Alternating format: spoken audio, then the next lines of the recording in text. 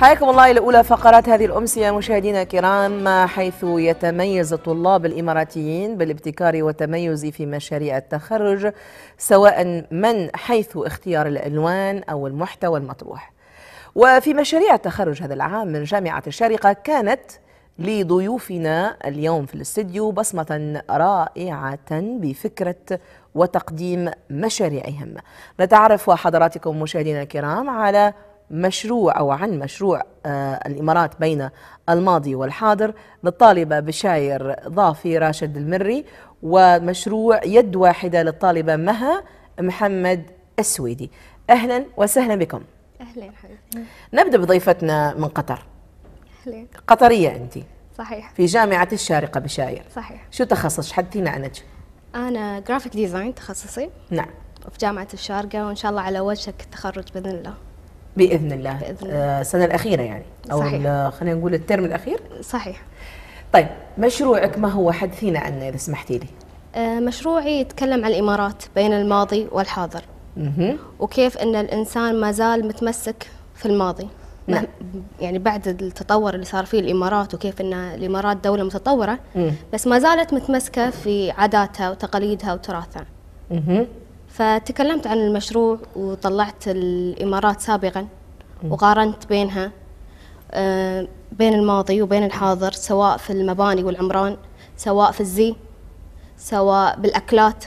ما زالت الأكلات وما زال الزي نفسه ما تغير مهما توصلت من عمران ومهما توصلت من تطور ما زال متمسكين فيه.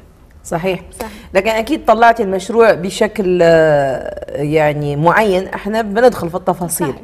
إحنا هذا عنوان حقيقه. صحيح. لكن التفاصيل بنغوص فيها إن شاء الله. بعد قليل. مها عزيزتي؟ ما هو مشروعك وفي أي سنة أنت في جامعة الشارقة؟ وش التخصص؟ أنا مشروعي هو مشروع يد واحدة. أنا تخصصي قسم العلاقات العامة في جامعة الشارقة كلية الاتصال. أنا في السنة الأخيرة بتخرج عن هالكورس آه، مشروعي يتحدث عن الطلبة ذوي الإعاقة في جامعة الشارقة. وأنا قمت بجمع آراء الطلبة اللي عندنا في جامعة الشارقة وسويت وياهم مقابلات. عرفت شو الجامعة تقدمهم من خدمات وشو الصعوبات اللي واجهتهم وشو الاقتراحات اللي يطورون جامعة الشارقة وف يعني وصلت يعني توصلت لفكرة إني أسوي فيلم لتطبيق يخدم الطلبة ذوي الإعاقة في الجامعة يرشدهم لمرافقة الجامعة بكل سهولة ويسر. فقط الطلبة اللي في جامعة الشارقة هي. ممكن يطبقونه مثلا إذا حد بغى يطبق هالفكرة في المدارس ممكن تطبيق هالفكرة في أي مؤسسات إذا حبت تطبق الفكرة عندهم. بس أنا مشروعي متخصص في جامعة الشارقة لذوي الإعاقة نعم آه، أعود إليك بشائر. جامعة الشارقة أكيد كان لها دور في دعم صحيح. مشروعك والإشراف عن المشروع. آه، حدثينا عن دور جامعة الشارقة في دعم مشروعك. تحت إشراف الدكتور الشيخ سلطان القاسمي ما قصر معانا بكل سبل التعليم كل سبل إن إحنا نطلع مشاريعنا كطلبة تكون بأعلى المراكز. أمانة لا دكاترة في كليتنا وبالذات دكتور محمد يوسف في كلية الاتصال مش مقصر معانا. وكذلك مشاركة معهد الشارقة للتراث. ما قصر معانا كطلبة في جامعة الشارقة. من النوع اللي يساعدونا من النوع اللي مسهلين علينا من النوع اللي يتواصلون. شو يصير بالمشروع؟ بالذات لما تكلمت عن الإمارات في الماضي صار عندهم أن لازم نعطيك صور دقة عالية نعطيك بيانات عن تراث الإمارات. قديما وش الأشياء اللي لازم أركز عليها. لأن في بعض الأشياء الناس على بالهم إنها مشتركة بين الخليج كتراث ولكن التراث الإماراتي فيه أشياء تميزه عن غيره من التراث نعم. لا إحنا بنتكلم عن ال ال كيف بلورتي المشروع. ما هو جميل إن يكون عندك معلومات عن تراث الإمارات قديما والمقارنة بين القديم والحديث. لكن كيف ترجمتيه؟ كيف أخرجتيه آه، على آه، أرض الواقع لكن خليني أعود إلى. مها مرة أخرى آه، مها أيضا جامعة الشارقة كان لها دور هي في اللي كان دور. أليس هي. كذلك حدثينا عن إشراف جامعة الشارقة آه، الدكتور كان يشرف على يوم كنت أروح له يعني كان يقدم لي اقتراحات شو أسوي أتواصل يمنو وكان في مركز المواد لذوي الإعاقة موجود في الجامعة ما قصر يعني. حتى إن دعمني راعى المشروع مالي قدم لي الأجهزة. سمح لي إن أستعير الأجهزة اللي تقدمها جامعه الشارقه لذوي الإعاقة وخل يعني سمحوا لي إن أنا أقابل الطلبة ذوي الإعاقة كلهم يعني وأسألهم أسئلة. شو الخدمات تقدم لهم شو الصعوبات؟ شو الاقتراحات؟ كل يعني كل شيء ساعدوني فيه في الجامعة. نعم نعم. طيب آه، بشاير آه، انت استعنتي بمصادر عدة أليس كذلك؟ صحيح. اللي آه، تكون لديك معلومة عن الامارات قديما يمكن أيضا استعنت- استعنتي من معهد الشارقه للتراث؟ صحيح. أنا كطالبة graphic design نعم. دائما أواجه صعوبة بدقة الصور. فلما أنا بتكلم عن مستقبل الإمارات الحمد لله كلنا نعرف المستقبل وكلنا نعرف الحاضر اللي إحنا فيه. نعم. متوفرة لنا صور بدقة عالية ولكن الماضي يكون صعب أن ألقى صور بجودة عالية وبدقة عالية للتصميم. كطالبة graphic design في التصميم أواجه الصعوبة هذه. أن لو أبي أسوي التصميم مالي يكون في ضبضبة على الصورة أو ما تكون بدقة عالية. فلما أروح المصدر التراث في الشارقة اللي هو معهد شارقة للتراث ألقى عندهم صورة وصور قديمة. لما دخلت عندهم في الأرشيف يعني شفت صور أنا ما كنت أعرفها عن الإمارات صراحة. كمستشفى قديم كأماكن قديمة وشنو كان الزي قديما وكيف كانت دقة الزي إنه حتى الخياطة اللي كانوا يستعملونها أشياء دقيقة إنه مش متوفرة إلا عندهم. فأخذت الصور من عندهم أخذت الزي الخليجي والزي الإماراتي اللي مصنوع من أيدي إماراتية يعني نساء كبار في السن. لين الحين لين يومنا هذا هم يخيطون هالملابس. وكيف القطع تجيهم من الهند لأن القطعة نفسها تكون كلها بشغل إيد. يعني كانوا هم ماخذين كل الاشياء اللي تخص التراث عندهم. يعني الحمد لله على مساعدتهم لي كطالبة يعني أعطوني أشياء كثيرة. فصار الماضي عندي سهل. الماضي سهل. اللي هو إيه. كان اللي انت كنت متصعبته. إيه كنت مستصعبتي. وكنت ما أقدر إن ألقى صور. وكل ما دخلت الإنترنت ما ألقى شيء يساعدني. بس لما رحت عندهم كانوا متعاونين جدا وحابين إنه في بنت بالجيل هذا تفكر إنه يحب التراث للحين تحب تسأل عن التراث وتبي بيانات فكلش كلش ما قصروا يعني هم ساندوني لين آخر يوم في المشروع زين كيف ترجمتيه في صورة مشروع؟ يعني أخذتي الإمارات آه، حديثا قصدي قديما وقارنتيها بالإمارات حديثا كيف كانت الترجمة؟ كيف نفذ نفذت الفكرة؟ أول فكرة تكلمت عن البنيان كيف كان البنيان قديما وكيف كانت العمارات وكيف كانت مش العمارات نقول إن كيف كانت البيوت كيف كانت من طين وكيف كانت صغار وكيف حاليا ما شاء الله إن مباني الإمارات وصلت يعني صارت ناطحات سحاب يعني قبل كانت البيوت من طين وكانت صغار فسويت مقارنة فحطيت إن البيوت قديما آه، والمباني القديمة والمباني الحديثة كلها كانت من ايد من؟ من ايد الإنسان صح ولا لا؟ صحيح. فحطيت إن ايد شخص وماسك المباني القديمة في الشارقة وحطيت المباني الحديثة في الإمارات اللي حاليا إحنا فيها. مثل برج خليفة مثل المباني في دبي مباني في الشارقة. في نفس اليد ولا في يد ثانية؟ في نفس اليد. في نفس فكانت من اليد. تحت تكون الماضي وبينهم سحابة لأن المباني كانت صغيرة. سحابة وفوق السحابة تطلع لك إن ناطحات السحاب يقولون صح ولا لا حق الأشياء الكبيرة؟ فحطيت إن المباني كبيرة وكيف كانت المباني الصغيره وحاطة ان مطر ينزل من السحاب. إيد الشخص إنه من السحابة نفسها. فكانت الفكرة حلوة. وسميت هاللوحه إنه صنع بأيدي إماراتية. يعني ما شاء الله يعني لما شفت الفرق بين كيف كانت وكيف صارت وكيف حاليا إحنا موجودين وكيف المباني القديمة ما زالت موجودة في الشارقة شيء حلو. شيء حلو ان تشوفين الناس قاعدة تتطور. وللحين متمسكه في المباني القديمة. نعم. الحمد لله. ما حثيني على التطبيق. آه كيف يتم الدخول لهذا التطبيق؟ آه ما هي المحتويات أو الأيقونات الموجودة في التطبيق؟ هو أول شيء هو عبارة عن فيلم لفكرة تطبيق أنا ما نفذت التطبيق. يعني في المستقبل إن شاء الله بسوي التطبيق. نعم. هو الفيلم عبارة عن آه، مثل تطبيق يكون مقسم إلى اثنين الطلبة الطلبة ذوي الإعاقة والطلبة المستجدين. تتخيل اللي- يعني هو يكون متصل بال GPS ويكون بال- بالكلام. يعني مثلا الطالب ذوي الإعاقة يكون مكفوف يقول أفتح تطبيق يد واحد يد واحدة. عقب قسم الطلبة ذوي الإعاقة. في قسم خاص بالمكفوفين يكون فيه كله بالكلام. مثلا الطالب يقول أنا بروح مبنى الرئيسي فيوصله عن طريق الكلام. مثلا أمشي على خط مستقيم. بيكون قدامك آه، باب ينفتح. آه، كمل سيدك لف يمين أو سير يسار. تشيل التطبيق هو وفي قسم ثاني للطلبة الصم. يكون الكلام الكلام عبارة عن مختصر الكلام. يعني ال- الطلبة الصم يكونوا يختلفون عنا ان هم ما يفهمون العبارات الطويلة ولا الفقرات بس تقول يمكن يعني يكون كلمتين بسيطة تكون الكلمات. حسيتي إن الطلاب آه، من ذوي الإعاقة في جامعة الشارقة محتاجين لهكذا خدمة؟ هي في محتاجين لأن أنا سويت مقابلة للطلبه المكفوفين وقالوا نحن وايد نضيع في الجامعة يعني ناخذ وقت لما نوصل لل class. مو بحاطين لهم مثلا آه، بين الكلاسات لوحة مكتوبة بطريقة بريل عشان يدلون الأماكن. فقالوا نحن وايد نعاني من من هاي المشكلة يعني إحنا لو ما وفروا لنا على الأقل حتى لو ما وفروا لنا تطبيق نحن نبى بين المباني يحطون قطعة معدنية مكتوبة بطريقة بريل.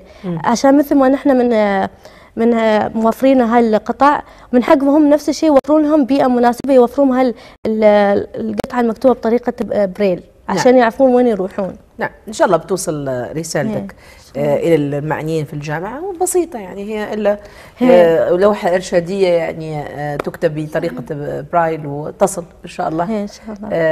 للمكفوفين. إحنا مشاهدينا الكرام بنصطحبكم لمشاهدة آه، الفيلم المصور عن مش... لمشروع مها نتابع مع بعض.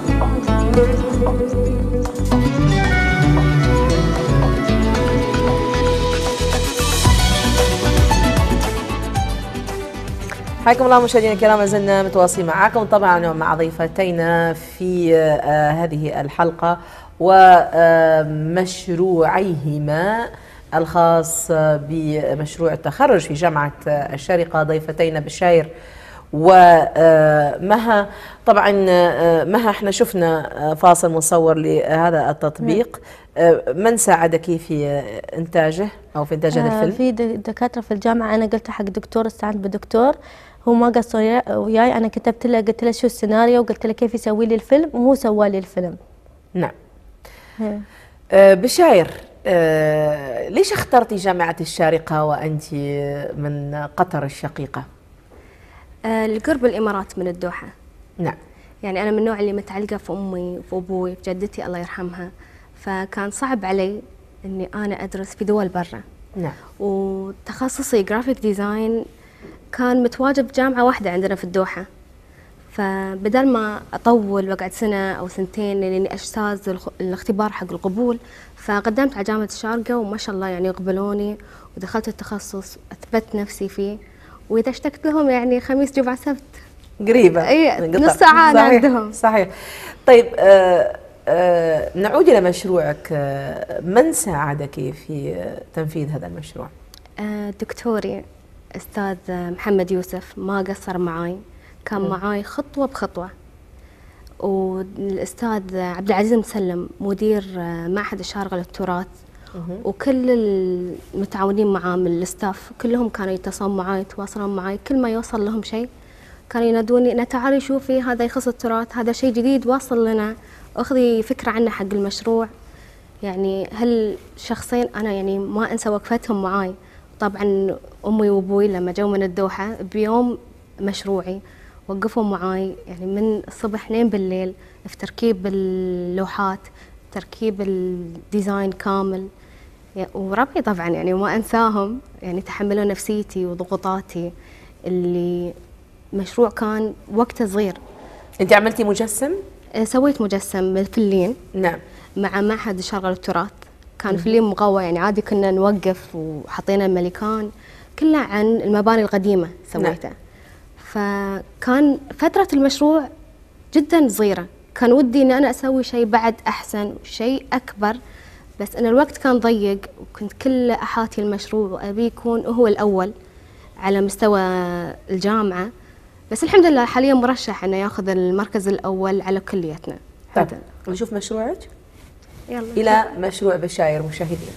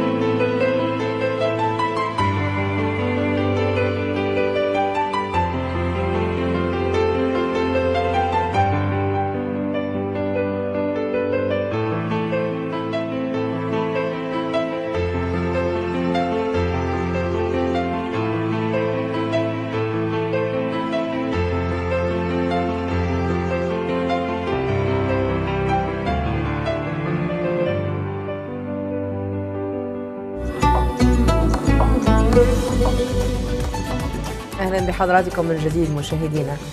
مشروع ما شاء الله كبير بشاير صحيح. أنا توقعت مشروع صغير يعني لا لا. 60 في 90 لا لا. 100 في 200 أشوف هذا شيء. بسيط أنا لو انه طولوا كان يعني يمكن أخذت المكان كامل. أعطوني ثلاث خيام الجامعة. أحلامك كبيرة ما شاء الله. أنا من النوع اللي أحب إذا سويت شيء أسوي يعني توسع. توسع بشيء فخم يكون شامل كل شيء سواء مشروعي سواء ضيافة سواء توزيعات. أحب كل شيء يكون كامل. زين الخ... يعني كل خي... كم خيمة أنت حط أعطوني؟ ثلاث خيام وأنا الطالبة الوحيدة اللي اخذت ثلاث خيام هو الحد الأقصى يكون خيمتين. نعم. فبعد ما أنا تدخلت والدكتور تدخل إن أنا عندي مجسمات كبيرة يعني أكبر من الخيمة. فلازم ان تنشال لي الخيم من فوق على أساس إن المباني تطلع. فالحمد لله تساعدوا معاي ومروا الدكاترة علي حتى يوم تركيب المشروع مروا علي بالليل وتموا يسولفون معاي. ويقولون لي إن اعطيناك ثلاث خيام بيض الوجه. يعني لا تسوين شيء إن يعني إحنا نقول إن إحنا اعطينا ثلاث خيام ما تستاهلها ما أدري إحنا ما شفنا. المباني يمكن في الفيلم. لا موجودة. موجودة المباني موجودة. آه، الشاهقة. أيوه. كانت موجودة معنا مباني تراثية ومجسمات. كان في مجسم المعرس الإماراتي. نعم. مجسم الأم الإماراتية والمراهقة الإماراتية والطفلة الصغيرة. نعم. فحطيتهم بالزي اللي يلبسونه الزي القديم.